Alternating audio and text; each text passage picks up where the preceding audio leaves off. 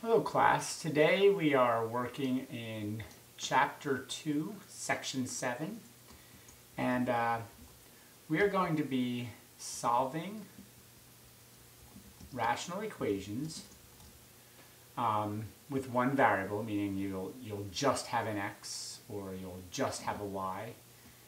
Um, we will be uh, looking for extraneous solutions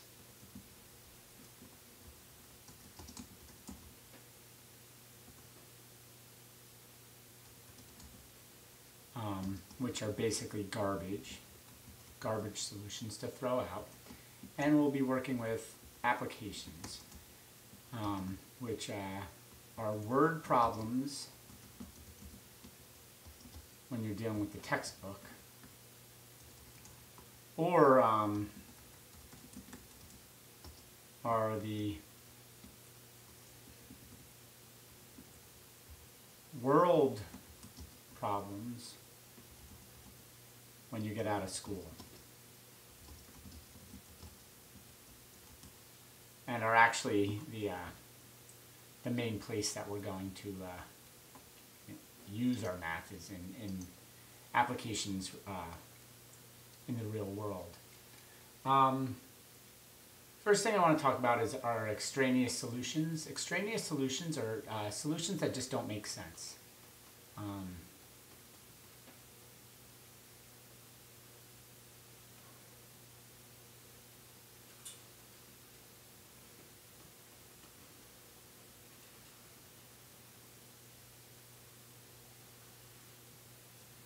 And um, so they, uh, they basically, they might be a, a negative number. Um, if we're looking at like time in a physics problem, um, a negative number may not make sense because we're not going backwards in time. We're trying to figure out the future, know, what will happen. Um, if we're trying to graph a, uh, an equation with an x and a y and we get an imaginary number, um, we may throw that out. Um, and the, the, the, main way you can really uh, find these is um, you have to ask yourself, does this answer make sense? And, um, and if it does, you use it. And if it doesn't, you don't. So you actually have to look a little deeper into the actual problem. Um, and, uh, and so that, that's just the, uh, the definition of, um, you know, what to do with extraneous solutions. Um, we're going to just do a couple of, uh, of problems. Um, the algebra of pre-calculus is probably the most difficult part of pre-calculus. Um, so what we're going to do is uh, we're going to we're going to now work on solving rational equations. Um, so if we have like x plus 1 over x plus 2 equals 4. Um, this is a, uh, a, a, simple algebra problem, um, but a lot of people don't really know what to do when you have a, that x plus 2 in the denominator. And actually what I'm going to do is I'm just going to make a little bit of space near there so I can put some work in here.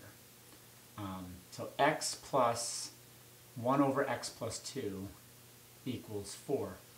And um, what we can do here is we can uh, clear the denominator actually I don't even need to uh, make the space, um, by multiplying everything by x plus 2. And since we have two sides of the equation, we can use this trick. If we're working with a function that doesn't have this side, we, we can't really do that. We've got to do, um, we've got to resort to other tactics. But in this case, when you have a equation where you're going to get a single answer, um, very often makes our steps a little bit uh, simpler. So first we do is x times x plus 2. x times x is x squared. x times 2 is 2x. x plus 2 divided by x plus 2 cancel out. So we end up with just a 1 here. And then 4 times x plus 2 is 4x plus 2 times 4 is 8. Um, and uh, so now, now we have um, a uh,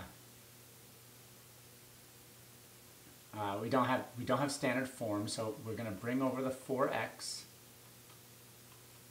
and bring over the 8. I'm just lining them up to the, uh, the common um, uh, pieces here. They, everything cancels out on this side, and we get x squared minus 2x minus 7 equals 0. Um, from here, uh, this one doesn't work out beautifully, so um, we're just going to complete the square real quick. So I'm going to continue up over here. So I get uh, x squared um, minus 2x equals 7 by adding 7 to both sides. The a is already cleared. The c is now cleared. Our b over 2 squared, or negative 2 over 2 squared is negative 1 squared is 1. So we want to add 1 here, and we can add 1 here. Um, again, because we have this as an equality, we can, we can do this trick. Um, and we get x minus 1 squared equals 8. Take the square root of both sides, you get x minus 1 equals plus or minus the square root of 8. Um, the square root of 8 is 4 times 2. Square root of 4 is 2, so um, I have x minus 1 equals um, plus or minus, pull out that 4, 2 root 2, add 1 to both sides, I get x equals 1 plus or minus, uh, 2 square root of 2. And, um, that's, that's the answer to this solution. Um, you could put this in a calculator and get a decimal answer, but it's actually the inferior answer um, because this is an exact um, answer. And uh, yeah, that's that one. Um, so by clearing fractions. And in reality, um, you've probably done this before when you had like a 2 down here. You just never did it when you, uh, or possibly haven't done it when there was actually uh, a variable underneath. But the, the trick works quite well. Um, let's do one more. Um, we'll have like x plus 3 over x equals 1.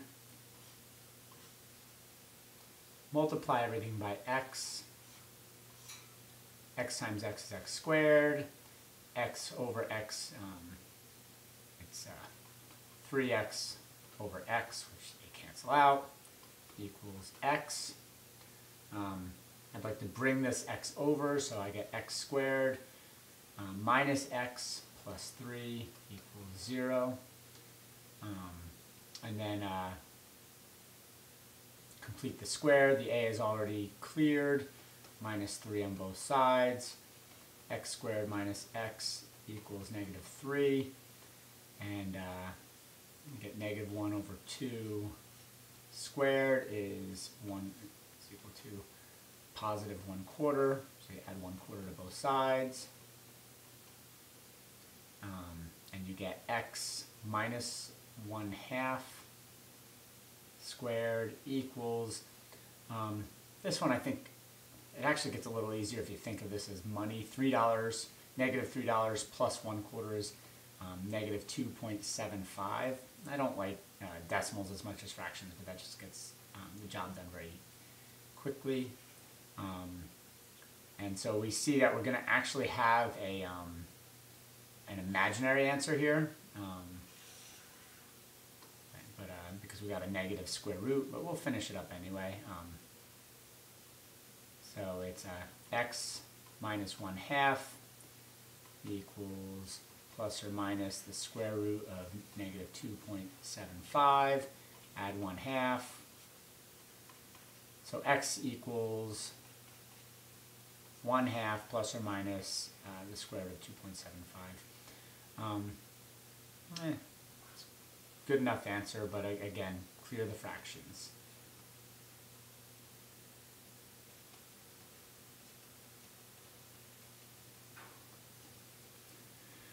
Um, okay, now let's uh, let's let's try another um, problem um, where we may have some garbage solutions.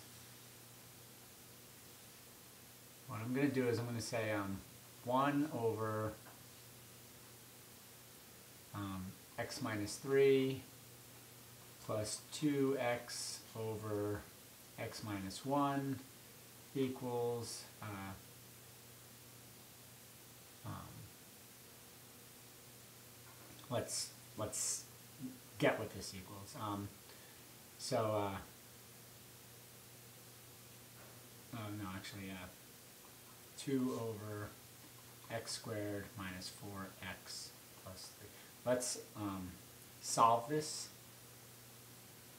And again, solve will be x equals something. So um, common denominator here, um, we'd have to multiply this side by x minus 1 over x minus 1. Because now this, and if I multiply this side by x minus 3 over x minus 3, I have a common denominator. And realize I'm not changing anything because x minus 1 over x minus 1 is 1. Um, and x minus 3 over x minus 3 is um, also 1. So we're just changing the way things look. Um, and uh, we get x minus 1 plus 2x squared minus 6x. Um, distributed this and then um, distributed this um, equals 2 and um, that's uh, all over um,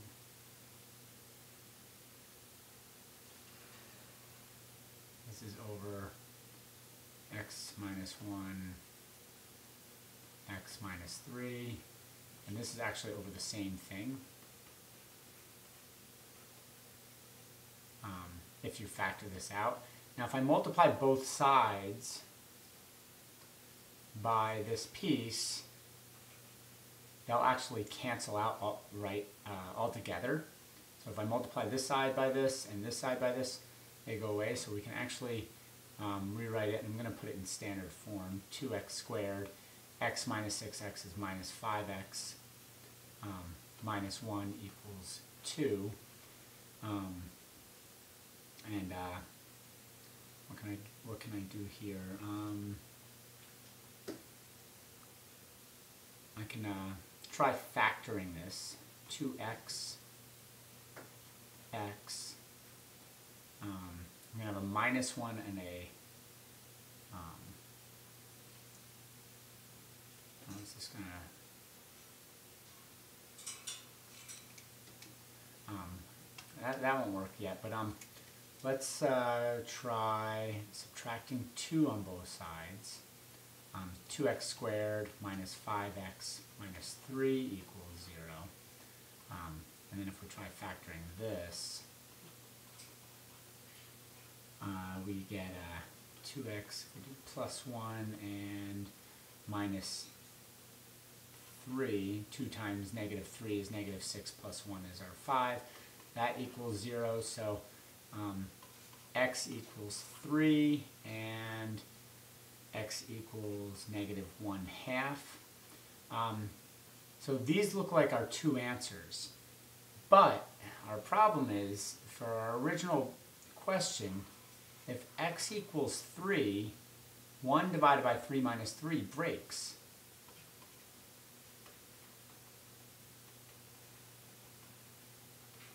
So this is a bad solution. So our really our only answer is x equals negative 1 half. Um, so eliminating extraneous solutions. So the, the new piece here, um, or the piece we're looking at, is actually a pretty simple piece. Um, it's just eliminating uh, the, the denominator stuff, but um, it's uh, the, the algebra is, is, is the trickier pieces. Um, Okay, let's do, let's do one more. Um, uh, we're we're gonna do an application problem. We'll just do like a uh, a word problem um, that may have an extraneous solution. Um, let's find the dimensions of a rectangle. Um,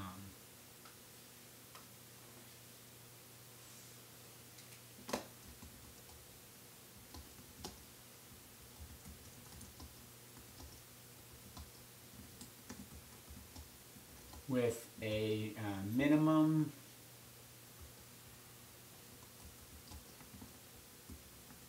perimeter um, if its area is 300 uh, meters squared.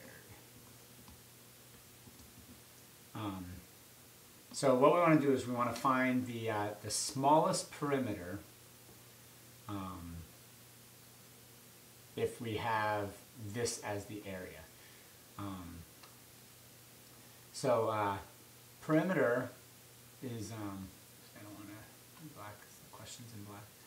Um, the perimeter is equal to 2 times length plus 2 times width.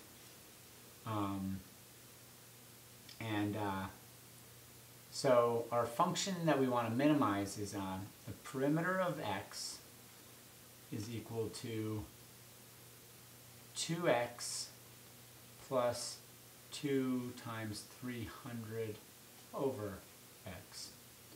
Um, and uh, I'm just substituting x in for uh, length and width. Um, and then we can start to solve this. We get 2x plus 600 over x. Um, and then let's um, look at this graphically. 2x plus 600 over x.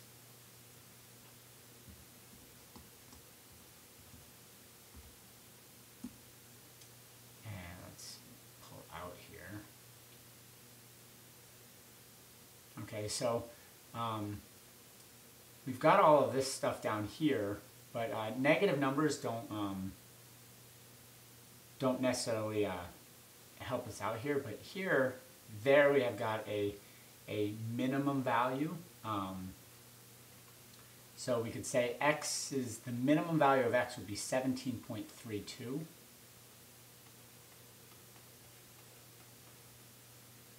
Um, and we're measured in meters. Um, if x is 17.32, um, we can uh, we can say the width is 17.32 um, and the length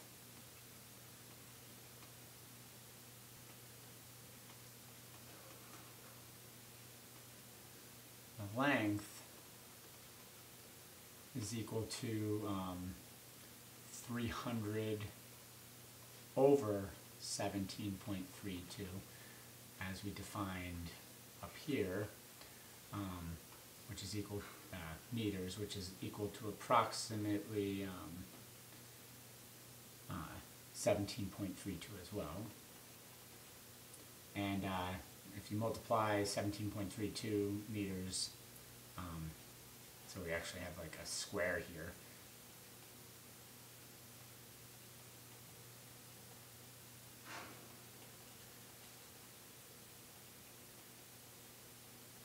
Um, so when you add it all up, you get approximately um, 69.28 meters.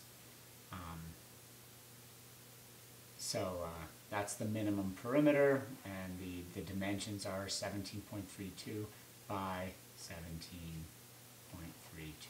meters, which is what the question was actually asking. Um, that's it for today. Um, let's, uh, Thank you, and I will uh, see you in class.